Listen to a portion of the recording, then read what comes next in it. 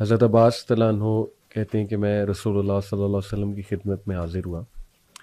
और मैंने उनसे कहा कि मुझे कोई दुआ बताइए जो मैं बहुत पढ़ूँ। तो रसोल्ला सल्लल्लाहु अलैहि वसल्लम ने कहा कि आप चचा भी हैं मेरे। उन्हें मुखातिब करके कहा कि मेरे चचा आप ये दुआ पढ़ा करें अल्लाह असलकल मुआफ़ात फ़िर दुनिया वाला आखिरा। हम्म। तो इसमें आफ़ियत का तस्करा है। बल्कि हज़रत अब्बास कहते हैं मैं फिर आया तो दोबारा से उन्होंने मुझे यही दुआ सिखाई हम्म। तो इस दुआ से इस तरफ़ कुछ लोग इशारा करते हैं कि देखें सबसे जो कीमती चीज़ है इंसान की ज़िंदगी में वो सेहत है वो खुश रहना है वो आफियत है आफियत के बहुत से तर्जमे हमारे लोगों ने किए हुए लेकिन एग्जैक्टली exactly आफियत को आपने कैसे समझा और क्या वाकई ही आ, ये दुआ इतनी इंपॉर्टेंट है कि इंसान जैसे एक और हदीस में आता है ना कि बेहतरीन ज़िंदगी वो है जो बहुत तवील हो और उसमें नेक माल किए जाए। तो लॉन्जेविटी पे बहुत आजकल बात होती है। जैपनीज़ की मिसाल दी जाती है कि देखो, उनकी उम्रें बहुत ज़्यादा हैं। मुस्लिम्स की बात की जाए तो हमारी एवरेज एज कम है। तो इसकी ख्वाहिश करना एक लंबी उम्र की, फिर ये कि खुश रहना हर इंसान चाहता है, सेहतमंद रहना हर इंसान चाहता है। तो आफियत, सेहत का ही नाम है, आप आप क्या समझते हैं? जी अलवी गुजारिश है कि अरबी जो है वो उमुल अलसना है। ज़ुबानों की माँ है। तो मैं ऐसी जगह पे जहाँ पे मुख्तलिफ़ तराजिम हमें मिलते हैं मैं उन सबको उसमें समो देता हूँ। सही। मैं नहीं समझता कि इसमें से कोई चीज़ खारिज है। हमारी आकबत भी है हमारी जिस्मानी सेहत भी है हमारी रूहानी सेहत भी है हमारे माहौल की और हमारे बिहेवियर की ये सारी चीज़ें इस आफियत में आती हैं। यानी इतनी जामे दुआ यानी आफियत का मतलब ये है कि मेरे मेरे शर से आप महफूज हैं ये भी आफियत है। वाह। मेरे अपने ही शर से मैं भी महफूज रहूँ सही। वो भी आफियत है। क्या बात मेरी जो सेहत है कि मैं कोई बीमारी मेरे ऊपर गलबा ना पाए ये भी आफियत है। बिल्कुल ठीक। मेरी सोचों की पॉजिटिविटी भी आफियत है। हम्म। तो इसलिए आफियत एक बड़ा ही वसी लफ्ज है। सही। और इसी तरह अरबी के जितने भी लफ्ज हैं बड़े वसत रखते हैं। हम्म, उसमें। एक आध तर्जमा करके मुखल नहीं करना चाहिए। बिल्कुल सही। तो वसील कलबी से सब सब चीज़ों को सोचना चाहिए। तो इसलिए सारे ही तराजम इसके अंदर आ जाते हैं। बिल्कुल। दुनिया भी आती है और आखरत भी आती है। क्या बात तो इसलिए नबी कम फरमाया ना कि हमें दुआ की जो तकील तलकीन की गई वो क्या है? रब्बाना आतिना फिर दुनिया हसन और फिर आखिरत हसन वकिन आदा बनना तो ये जो दुनिया और आखिरत की जो भलाइयाँ वो भी इसी आफियत में आती हैं। सही सही। तो इसलिए हमें तिबी नुक़ नज़र से हम देखते हैं कि सिर्फ़ जिसम जो है उसकी ए, हमारे तमाम ऑर्गन्स की फिजियोलॉजी ठीक हो आफियत है। For hmm. एग्ज़ाम्पल कि अगर पेंक्रियाज जो हैं वो इंसुलिन पैदा कर रहे हैं तो हम्म। ये आफियत है। वाह। इसी तरह अगर आपकी थायराइड जो है वो अगर थेरोक्सिन पैदा कर रहे हैं प्रॉपर हम्म। ठीक ठीक से तो वो आफियत है। अमेजिंग तो इस तरह हर उजब जो है ना वो जो सही काम कर रहा है वो आफियत है।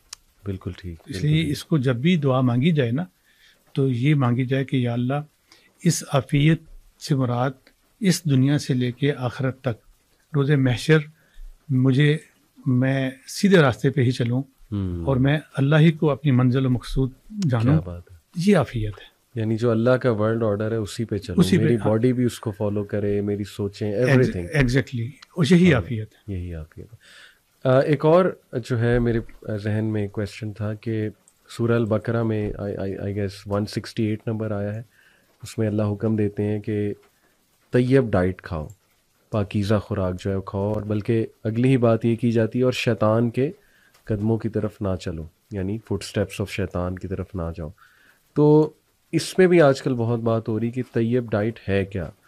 क्या ये ऑर्गेनिक डाइट का नाम तैयब डाइट है? जैसे कि खालिश जो चीज़ें हैं जो आजकल डब्बे की खुराक आपको पता है फास्ट फ़ूड है फिर जेनेटिकली मॉडिफाइड फूड्स पूरी एक इंडस्ट्री है। तो क्या वो तैयब डाइट नहीं है वो नापाक डाइट है और पाकिज़ा सिर्फ़ वो है जो बस हमें नेचुरली मिल रही है? इसमें दर्जात होते हैं। खुराक हो या कोई भी दुनिया की चीज़ हो उसमें दर्जे होते हैं। सही। ए प्लस है ए है बी है सी है। तो तैयब फिर वही माना। अरबी का लफ्ज़ इसका माना आमतौर पे अरब जब किसी से पूछते ना कि किफ हाल हो तुम्हारा हाल तुम्हारी तबीयत कैसी है तो आगे से जवाब हसन भी कहते हैं तैयब भी कहते हैं। जी जी ऐसे ही। अब तैयब का मतलब क्या है? कि इंसान का जो जिसम है वो अच्छी हालत में है। हम्म। तो एक तो हम इसे ये तर्जमा ले लेते हैं कि अगर गज़ा ताज़ा है उमदा है वो तैयब है। सही। अगर वो बासी है तो वो गैर तैयब है। हम्म, हम्म, बासी चीज़ जो है वो अपनी बहुत सारी चीज़ें वक्त से खो देती है। सही। या तो उसे प्रोसेस किया जाए मिसाल के तौर पे कि दूध है हम दूध को जब पनीर की शक्ल में ले जाते हैं सही। तो प्रोसेसिंग हो जाती है फिर वो पड़ा रहे ना पुरा कई महीने पड़ा रहे या बरसों पड़ा रहे तो वो तैयब कहलाएगा। अच्छा। क्योंकि वो प्रोसेस हो चुका है उसमें से जो खराबी की चीज़ें थी वो निकाल दी गई हैं। ठीक। फिर ठोस हो गया। सही। इसी तरह बहुत सारी चीज़ें जो ऑर्गेनिक चीज़ें जो हमारे हम खाते हैं उन्हें उनकी अगर शक्ल नेचुरल प्रोसेस से बदल दी जाए हम्म। तो वो तैयब रहती है। ठीक। अदरवाइज़ अगर हम देखते हैं कि हम आम तौर पे एक रोटी जो आज की पकी हुई है वो कल हम उसे बासी ही कहेंगे वो तैयब नहीं रहेगी। सही। तो इसलिए गज़ा के हवाले से तो यही है कि उसके ग्रेड में फ़र्क आ जाता है। हम्म। अब जहाँ तक आपके सवाल का दूसरा ताल्लुक है कि क्या जो नॉन ऑर्गेनिक हैं या जो जेनेटिकली प्रोड्यूस जो जो हैं गज़ाएँ हैं ये फिर सेकंड कैटेगरी में आएँगी। ये ए अच्छा प्लस में नहीं रहेंगी। सही। हैं तो वो तैयब लेकिन उनका ग्रेड वो नहीं है। किस हवाले से ग्रेड वो नहीं यानी फवाइद के हवाले से? फवायद फवायद के हवाले सही। तिब्बी नुक्ता नज़र के हवाले से। ठीक ठीक। मिसाल के तौर पे कि ये ऑर्गेनिक एग जो आता है।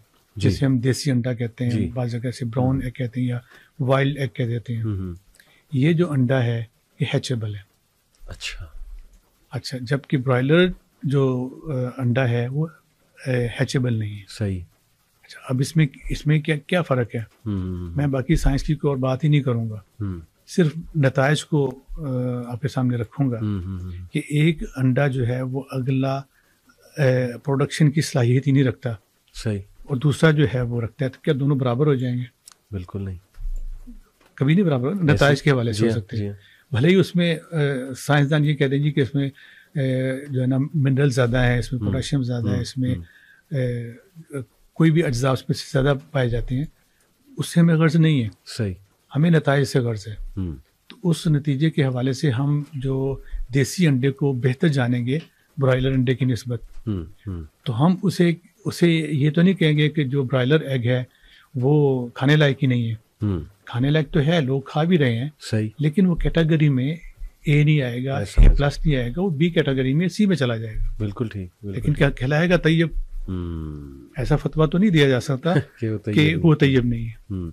तो ये जो ब्रॉयलर चिकन और मिल्क पैक ऑल पर्स ये सब भी फिर उस कैटेगरी से नीचे आ जाएँगे। हाँ जहाँ तक ताल्लुक है दूध का तो हर सफ़ेद चीज़ दूध तो नहीं होती। सही। वो जो डिब्बे में जो पैक हो रहा है दूध सही। अ, उसमें अल्लाह ताला बेहतर जानते हैं जो बाहर सुनने में चीज़ें आती हैं हम्म, हम्म, कि वो सफ़ेदी होती है हम्म, लेकिन उसमें से कुछ परसेंट दूध होता है बाकी चीज़ें मिला के तो एक नया फार्मूला बनाया जाता है। लेकिन ये बड़ी अफसोस की बात है कि कमर्शलिज्म ने हमारे ऊपर इतना बुरा अटैक किया हुआ है कि हम जो चीज़ें गलत हैं। जी। गलत से मुराद मेरी है कि जो असल नहीं है मिसाल के तौर पे सिरका। सही। सिरका बनता है फलों के रस से। हम्म। कोई भी सोर्स हो गन्ना हो अंगूर हो या अनार हो सिरका उससे बनता है। सही।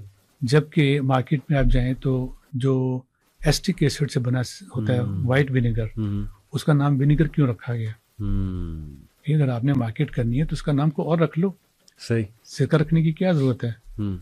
इसी तरह अगर आप शक्ल बना लेते हैं ऑयल की घी से मुमासलत करते हैं तो वो वनस्पति है। उसे हम्म, घी क्यों कहते हैं। हम्म, उसे बेच बेचने के लिए घी साथ लगाना पड़ता है। इसलिए फार्मूला जो पाउडर है उसको बेचने के लिए दूध कहना पड़ता है। बिल्कुल ठीक। तो ये असली नाम क्यों लगाए जाते हैं? ये कमर्शलिज्म का एक बहुत बड़ा वार है कि जो चीज़ें नॉन ऑर्गेनिक या फार्मूलेटेड होती हैं उन्हीं को असल का नाम दे के तो बेच दिया जाता है तो लोग फिर वो वही समझ के खाना शुरू कर देते हैं। तो यानी क्रक्स ये है आपकी बातों का कि जो नेचुरल फ़ूड है वही उसी को फ़रोग दिया जाए। फैमिलीज़ भी कोशिश करें कि वही खाएँ बल्कि उगा भी लें अपने यहाँ तो उसमें भी मैं समझता हूँ एक आसानी है। कई मेरे जानने वाले हैं कि वो खुद ही सब्ज़ियाँ भी उगा रहे हैं मुर्गियाँ भी रखी हुई हैं तो ये मेरा ख्याल सबसे बेस्ट तो फिर ये है आज के दौर में। हाँ मैं तो ये मुनासिब समझूँगा कि जो लोग नेचुरली पैदा हुए हैं ना जी। उन्हें नेचर ही की चीज़ें लेनी चाहिए। हम्म। और जो अननेचुरल तरीके से टेस्ट ट्यूब बेबीज बन के आए हैं दुनिया में हम्म, हम्म, वो फिर वो वैसी खुराक खा लें क्योंकि उनकी अपनी नेचर जो है वो सही सही सही। उनकी पैदाइशी नेचर के ऊपर नहीं है। तो एक इंसान तो फितरी तरीके से पैदा हुआ है तो फितरत चीज़ जो तैयब तैयब के लिए होती है। सही गैर तैयब गैर तैयब के लिए होती है। हम्म, ये तो फितरत है ना? बिल्कुल फितरत है। तो इसलिए हमें तो यही चीज़ फॉलो करनी चाहिए कि जो माशरे में जो फितरी अज्जा पाए जाते हैं हम्म, हम्म, हम्म, वो खाने पीने से मुतल हो या कोई और भी? सही। तो वो हमें वही इख्तियार करनी चाहिए। इख्तियार हमारी तबीयत उस तरफ़ माइल रहती है हम्म, हम्म। और सेहत की बहाली के लिए ये चीज़ें मावन होती हैं। और देखें ये कोई इतनी कोई लोग कहते हैं ना नहीं जी बहुत महँगी हैं वो चीज़ें। आप कंपेयर करें के की डील्स के साथ मतलब वो नट्स को जो बादाम है और बाकी चीज़ें हैं इंजीर है उसके कितने फ़ायदे हैं खजूर है। तो मवाजना किया जाए तो कोई फ़र्क तो नहीं है प्राइसेस में। लोगों ने एक हवा बनाया कि नहीं नहीं वो तो बहुत महँगा लाइफ है। अगर हम उस तरफ़ चले जाएँगे दूध बहुत महँगा हो गया है तो ऑल पर एक लीटर मेरे ख्याल को दो सौ पिछहत्तर का मिल रहा है हम्म, और डेढ़ लीटर जो है वो शायद साढ़े तीन सौ से भी ऊपर पहुँचा हुआ है। तो महँगा तो असल में मुझे लगता है वो है जो दूसरी वाली साइड है। अरे भी गुजारिश है कि अगर तो हम सुन्नत पे अमल करें तो हमारे बहुत सारे मसले हल हो जाते हैं। हम्म, नबी ने फरमाया कि अगर किसी को खाना खाना है तो वो इतना खाए कि जिससे कमर सीधी रहे। हम्म, अगर ज़्यादा ही खाना है तो तीन हिस्से कर ले। सही। पेट का एक हिस्सा ठोस गजा के लिए रख ले पानी के लिए रख ले एक सांस के लिए रख ले सही। यही हमें रहनुमाई मिली ना। ऐसे ही। तो आप ये मुझे बताएँ कि अगर तीसरा हिस्सा लेते हैं तो वो ऑर्गेनिक चीज़ें अगर लें महँगी भी मिलें बिलफर्स हम्म, एज़ कंपेयर टू जो आर्टिफिशियल हैं। सही। तो वो सुनत के मुताबिक खाएँगे तो आपके लिए अफोर्डेबल रहेगी। ठीक। हम लोग क्वांटिटी जो है ना वो ज़्यादा लेते हैं हम्म, स्टफिंग करते हैं। हम्म, तो जबकि भूख अभी बाकी हो तो छोड़ देना चाहिए। सही। तो यही चीज़ें हमें मोर देन अनफ हो जाएँगी। बिल्कुल ऐसे ही। है लेकिन यहाँ तो बुफेस चल रहे हैं